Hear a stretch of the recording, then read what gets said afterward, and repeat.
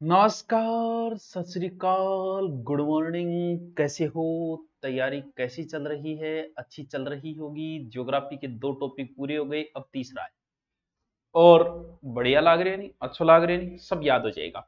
अच्छा अथवा किताब है तो थोड़ा बिक्री बट्टा हो जाए, ठीक समझ तो ते गया होगा। देखो, सीधी बात, नो बकवास। जो है, वो है। अब भाई, बेचना तो कोर्स ही है। किसी तरीके से बेचो मैं, देखो आप कोई भी किताब खरीदो, मेरी भी चेटक की आरबीडी की आती है, वो भी खरीद सकते हो। इसका मतलब मैं बार बार वो नाम ले रहा हूँ, जब कोई चीज़ का बार बार नाम लिया जाए, ये भी एक प्रकार का एड है। आपको लगेगा, वाह यार, गुरुजी कितना अच्छा है, देखो आ कह हमारी किताब ना लियो भलाई। अरे, वो गुरुजी कर गयो, वो गुरुजी है। सीधी बात, नो बकवास। पुस्तक आती है, आपको लगे, अच्छी मार्केट में जाओ, देखो अच्छी लगे तो लो, नहीं लगे तो कोई बात नहीं। ओ यार, वो चल रही को नहीं चल, देखो। आज जो टॉपिक है, वो है अपना मिट्टी व मरुस्थलीकरण। बहुत इंपॉर्टेंट है। कई बार ये टॉपिक स्पेशल भी लग जाता है। गर्मी बहुत है, अपने स्वास्थ्य का ध्यान रखें, राबड़ी पानी टाइम टू टाइम पीते रहिए। मिट्टियों का अलग से अध्ययन किया जाता है, जिसे कहा जाता है pedology psychology B pedology spelling उसके, गलत भी उसके P E D O L O G Y pedo L O G Y pedology यानी मृदा विज्ञान विश्व मृदा दिवस जो बच्चों आता है, वो आता है पाँच दिसंबर को। नॉर्मल चीज़ें सबको आती है। हमें पढ़नी है राजस्थान की मिट्टी एक ऐसा टॉपिक है, अगर इसको आपने थोड़ा सा ढंग से समझा ना तो मुझे लगता है मिट्टी का टॉपिक आप कंप्लीट कर दोगे। कुछ इंग्लिश नाम है, वो हम कल देखेंगे, इस टॉपिक को दो दिनों में कंप्लीट करने की कोशिश करेंगे। राजस्थान की मिट्टी लगभग आठ प्रकार की है। चलो इसको क्यों? मैं इधर ले लेता हूँ। एक चीज़ तो आप फिक्स सीधी बनाई लो जिसे कुछ करना ही नहीं है ए, ये लो। ये अरावली। ये तो सीधी बनाई ली अरावली। बहुत इजी है। मतलब मैं आप सिर्फ़ देखो और देख के आपको लगेगा कि वाह सर क्या करवाया है आपने। सिर्फ़ देखो हो सकता है मिट्टी आपके समझ में आ जाए क्योंकि इन टॉपिक को पहले मैं समझ लेता हूँ ना। फिर मैं उसको बहुत इजी कर देता हूँ। और जिन टॉपिक को मेरे खुद के समझ में नहीं आते, वो आपके भी नहीं आएँगे। यही तो नियम है कि पहले आपको आना चाहिए इसके बाद आप इजी कर देते हो उस टॉपिक को। तो पहले एनएच वगैरह के मेरे सारे ट्रिक बनाए हुए थे, क्योंकि मेरे पहले याद थे। अब नए वाले मेरे याद नहीं, अब जब पढ़ूँगा तो पता नहीं कौन सी ट्रिक बनेगी, क्या बनेगी। देखो, ये पूरा का पूरा मरुस्थल है। मैं एक बात, देखो, ये मिट्टी है, ये अरावली है। अरावली क्या है? पर्वत है। एक मिट्टी का प्रकार तो कंप्लीट कि पर्वतीय मिट्टी, अरावली की जड़ों के अंदर नीचे पाई जाती है, वो पर्वतीय मिट्टी है। विशेष इससे संबंधित कोई क्वेश्चन वैसे नहीं बनता है, पर्वतीय मिट्टी से। अरावली की उपत्यका के अंदर है, ज़िले देखें तो जो अरावली के ज़िले वही है, सिरोही है, उदयपुर है, पाली है, खेरथल, तिजारा आदि ज़िले। कोई अलग से क्वेश्चन इसका नहीं बनता है। मिट्टी के आठ प्रकारों में आपका एक प्रकार तो हो गया। अरावली अरावली पर्वत। अब आओ इधर। किधर? मरुस्थल के अंदर, देखो। समझता जाइए टावर उसका मैं टाइम लगाऊँ तो यहाँ ना समझिए बोर कर रहे अपन। टाइम लगाना ज़रूरी है कि मिट्टी टॉपिक है ही पर्वतीय तो हो गई हाँ सर हो गई। अब इधर वाली साइड में, इस साइड में किए रेत ही रेत है। रेत पर नाम लिखने से क्या फ़ायदा? आई, एक लहर कुछ बचेगा नहीं। तुमने पत्थर दिल हमको कह तो दिया। पत्थरों पे लिखोगे, मिटेगा नहीं। वाह, क्या बात है। रेतीली रेती रेत। है यानी मरुस्थल है। तो मैं इन मरुस्थली मिट्टी कैस कहूँगे हाँ सर, कह क्यों कौन सको मरुस्थली मिट्टी कैस को? रेतीली मिट्टी कैस को? क्योंकि रेत ही रेत। है इसका मतलब सब जगह, वही मरुस्थल सब जगह। ओयो के टावरो, आज की रेत ही नहीं, आज थोड़ी सी होगी बूरी। थोड़ी सिंचाई सिंचुई हुई जब आपको कलर बदल लिया आपका नखरा बदल लिया। जी आई, थोड़ी सिंचाई मिली, बूरी होगी बूरी के नाम का आगे पाछो रेतीलो लगाओ। इंगो मतलब बूरी मिट्टी भी इस साइड में ही है। देखो, रेत रेत तो है ही तो रेतीली मिट्टी सीध हो रेत आपको कलर चेंज करके भूरी होगी भूरी होगी बिन दूसर कह दो भूरी कह दो सिरोजम मिट्टी कह दो लेकिन भूरी का आगे शब्द रेतीली देख लियो। इंगो मतलब इस साइड में बा, और सीधा आपसे पूछ सकता है वो भूरी मिट्टी। और ये एग्ज़ाम में पूछा जा चुका है। तब आंसर बदल जाएगा दूसरा। भूरी का आगे रेतीली लाग रही मतलब रेत में जियो। रेत में गठे मरुस्थल में। और सीधो बुरी है तो उत्तर बदल जाएगा। एक बार हम सीधे बुरी को छोड़ दे, दोनों कंफ्यूज दूर करने की अब टावरो अटकर खारे पानी की झीला है खाले पानी की झीला क्यों है? खारे पानी झीला ई खातर है कि बठे नमक है, नमक को मतलब बठे की मिट्टी की है लवणीय आलियो जी लवणीय मिट्टी। यानी एक प्रकार, दो प्रकार, तीन प्रकार। एक बता दी, चौथी परवर्ती चार प्रकार। एक नाम ले लियो बुरी यानी थन मिट्टिया का नाम नाम तो सीख ही गया जे थे और की नहीं भी सीखा हो तो। अब आओ भूरी मिट्टी। सॉरी पहली कौन सी बताई थी? सॉरी रेतीली मिट्टी, ये ना सर्वाधिक क्षेत्रफल पर यही है। पूरे पश्चिमी मरुस्थल में आराम से आप डिटेल कर दोगे। पश्चिमी मरुस्थल में सर्वाधिक भूभाग पे इमकण के वे मोटा वे थोड़ा। इन खातर बारिश आवे नहीं पानी नीचे चले जाए। नमी बिचारी रोक नहीं पाती है।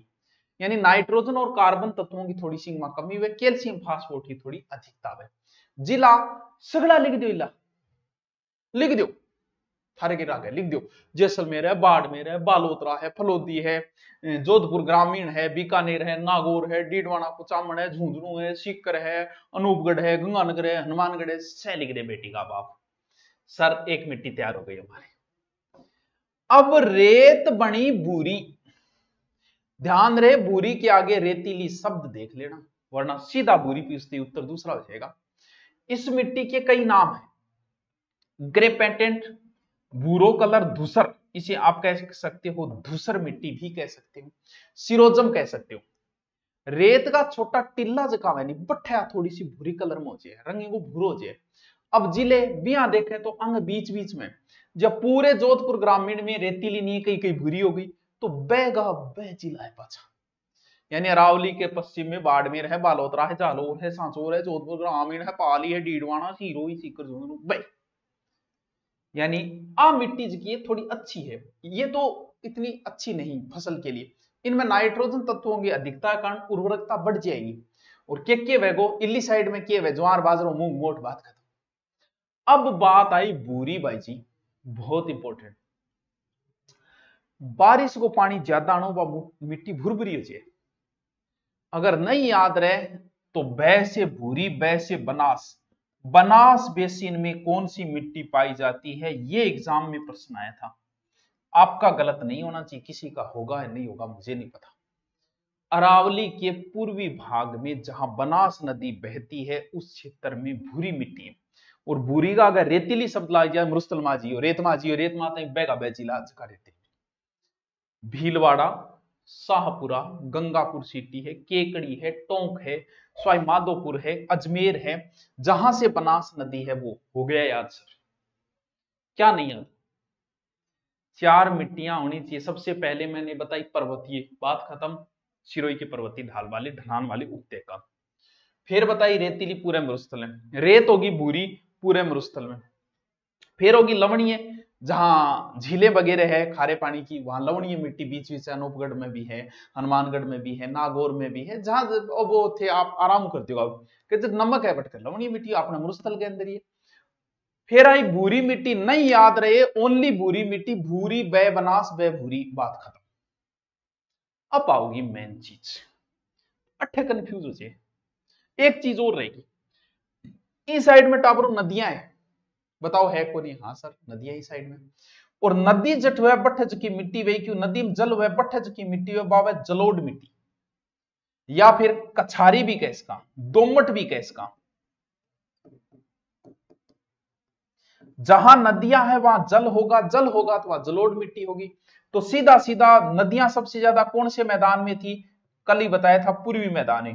पूर्वी मैदान है, नदियाँ नदियाँ पूर्वी मैदान बाणगंगा बेसिन हुए माई बेसिन हुए अरे चंबल बेसिन गए, अरे बनास बेसिन गए। यानी जलोड मिट्टी कितनी मिट्टियों के प्रकार हो गए एक हो गए, दो हो गए, तीन हो गए, चार हो गए, पाँच हो गए, ये हो गए छठा पूरी मैदान में इंगमा नाइट्रोजन की अधिकता है। और इंगमा कौन सा? जयपुर ग्रामीण है। अबे अबे, जिला थे, देख लियो। पूरी मैदान में खेर रहा कोटपुतली बहनपुर दोसा है, टोंक है स्वाई माधोपुर है, गंगापुर सिटी है, करौली है जिला अटला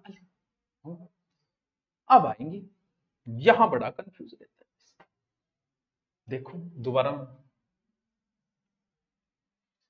भाई जी पहाड़ दूर, लाल लाल तप्पा यानी लाल लाल। लाल और कालो बड़ो कंफ्यूज करे। एक लाल, एक काले। लाल, काली।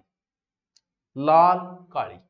लेकिन लाल सिर्फ़ लाल लाल को नहीं है। लाल जो है वो रीस मांगे पीड़ो भी हो। जाए इन खातर एक मिट्टी है लाल पीड़ी।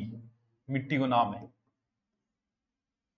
लाल थोड़ी सी लोमी भी हो। जाए एक खातर एक मिट्टी है लाल लोमी। काली काली होगी यानी अब जो की मिट्टियाँ प्रकार है, वह लाल संबंधित है। एक तो लाल लोमी मिट्टी है, एक लाल पीली मिट्टी है और एक काली मिट्टी बस तीन होते ही अपनी कहानी पूरी। काली, मध्यम काली भी बोल सका रेगुर मिट्टी भी बोल सका फिर होगी लाल लोमी और फिर होगी लाल पीड़ी समझो। नहीं याद रहे तो कंफ्यूज दूर करो। ये अरावली होगी कैसे काली, कैसे कोटा, कैसे कपास? काली मिट्टी कोटा में पाई जाती है। कपास के लिए उपयोगी काली मिट्टी है, इसलिए काले बनेंगे। बर्तन काला होता है, ब्लैक ब्लैक होता है, पोटरी, हो गया याद। यानी यहाँ पर जो मिट्टी है, वो काली है। के के के के के के, यानी पूरे कोटा का मतलब पूरे आड़ोती क्षेत्र। सर, क्यों है? क्योंकि पोटास कैल्शियम अधिकता है, मालवा का पठार को बाग है कैसे काली, कैसे कपास? अब मिट्टी के बारिश हुई, बारिश होता है मिट्टी हो जाएगी गिल्ली फिर जी सूखेगी सूखता ही दरार पड़ जाएगी। यहाँ लागे जाने हड़ बोइड है। इसलिए सौते ही जुताई वाली मिट्टी कहा जाता है, काली मिट्टी को। ये ज्वालामुखी से निर्मित होती है बेसाल चट्टानों से बनी, जो हाड़ोती में। काली याद होगी नहीं, काली या रेगुर या मध्यम काली, एक ही नाम है। काली कैसे काली कैसे, कोटा कहानी खत्म यार, क्या नहीं याद रहा। अब देखो, अटकर्ज की मिट्टी है टावरो। एल मिट्टी है एल को मतलब लाल L L L L L L L L L L L ठीक है ठीक है अब देखो अब समझना है एक तो अपन देखनी है कि लाल पीड़ी गठे और एक लाल लोमी गठे आ दोनों समझना अपन यानी अब किए अटकर लाल ही लाल है अटकर काली काली है यानी अठ लाल है, अठ काली है। लाल भी मिली, काली भी मिली तो फिर लाल काली होगी। तो एक मिट्टी है लाल काली। तो फिर गठे वेगी अरे जब लाल अटकर काली अटकर तो गठ करवेगी ये कायंत्री लाल काली गठे वेगी इन्ना रावली, इन्ना मालवा को बाग है। पोटास की अधिकता, फिर कौन सा जिला? अठला जिला सारा देख लेती। चित्तौड़गढ़ है।